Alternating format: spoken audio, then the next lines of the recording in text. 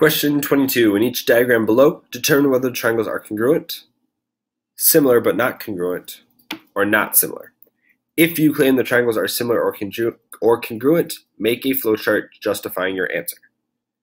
So question A. Let's start with the piece of information that we're given. So we are given that angle B is congruent to angle D. Due to the tick marks, I know that has to be true. And we're also given parallel lines. AB is parallel with DC. So go ahead and answer. Do you think these are congruent, similar but not congruent, or not similar? All right, these tri er, these two triangles are congruent. So tell me how they are congruent. What's the congruency theorem that tells us that they are congruent? If you said angle, angle, side, you are correct. Okay. So let's take a look. Let's uh, try and find that side. What side is going to be congruent? Well, AC is going to be congruent to AC. So what property tells us AC is congruent to AC? That is reflexive. So let's start the flowchart here.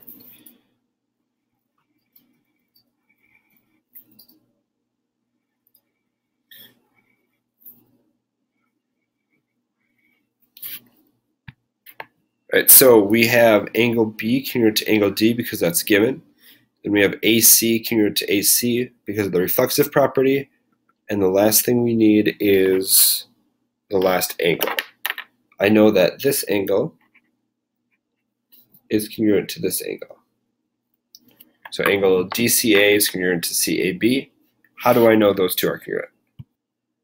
I know they are congruent because they are alternate interior angles, AIA, so alternate interior angles.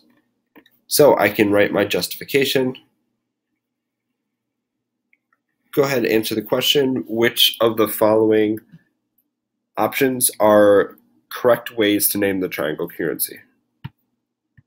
Make sure that you select all of them that apply. So there will be more than one answer. So for the one I put in the bubble, I chose to go yellow, purple, green, so ACD, which then means it's going to be CAB, yellow, purple, green. And the reason for this one, once again, angle, angle, side. Since the side's not in between them, it's angle, angle, side. And last thing, make sure you show the flow. All right, there we go. That is letter A. Let's move on to letter B. So is letter B, um, well, let's start with what we know. Okay. So I know that this is 50 degrees because this is given to me. And I know that this is 50 degrees. So do you think these triangles are congruent, similar but not congruent, or not similar? For this triangle, it is going to be similar but not congruent. So let's prove our similarity which way do you think that that we're going to go for this one? Do you think it's going to be side side side similarity, angle angle similarity, or side angle similarity? It is going to be angle similarity. So we're going to have a two part flow chart here. And my first one's going to be angle I is congruent to angle G. And how do we know that? They're both labeled as 50, so that was given to us.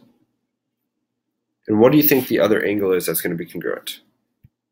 All right, so for me, I know this is very small, um, but I'll read it. So it says angle JHI. So this angle right there is congruent to FHG, which is that angle right there. And how do I know that these two are congruent? They are vertical angles. So then I can write my conclusion, which is going to be triangle um, in this case, I'll go green, purple, nothing. So GHF is similar, and once again, we have to go green, purple, nothing. IHJ. And that's by AA similarity. Because we've got two angles that are congruent to each other. Question C. So do you think these two triangles are congruent, congruent, or not congruent but similar, or not similar. If you said not similar, you're correct. This one's tough. It looks almost like it's going to be side angle side similarity. So let's investigate that a little bit.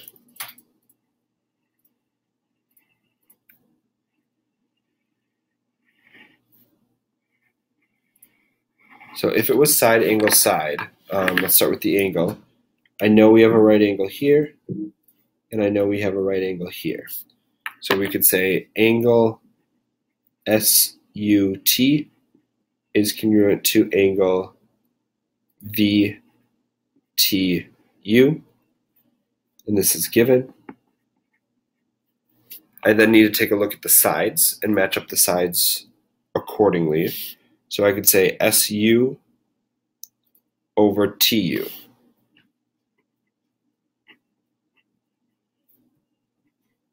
And if I take out my calculator and I divide SU divided by TU, I'm going to get 0.67.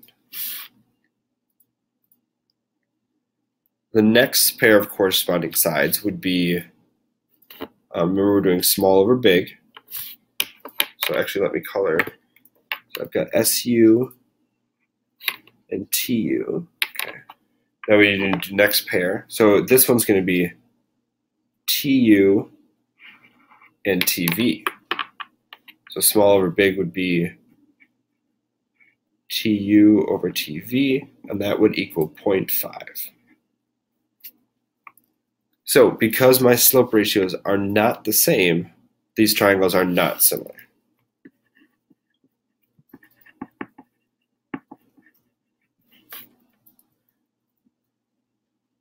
And question D. So we've got a couple different things going on. Let's match up our sides. So we have a pair of corresponding sides right here, a pair of corresponding sides there. So we know that Km is congruent to QR since they're both 13. And we know we've got a right angle here and a right angle here.